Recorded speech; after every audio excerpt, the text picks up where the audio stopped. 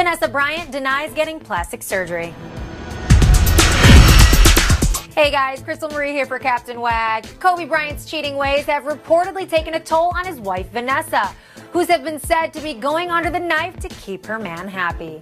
Kobe's wag showed up to the London Games looking a bit different in her face, which caused many to speculate she'd had some work done.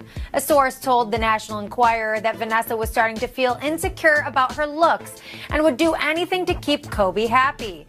But before you start to believe the cosmetic enhancement rumors, Vanessa's representatives have denied the allegations as 100% not true and flat out ridiculous. Either way, Mrs. Bryant looks beautiful. Do you think Vanessa's had work done? Tweet us at Captain Wag with your thoughts.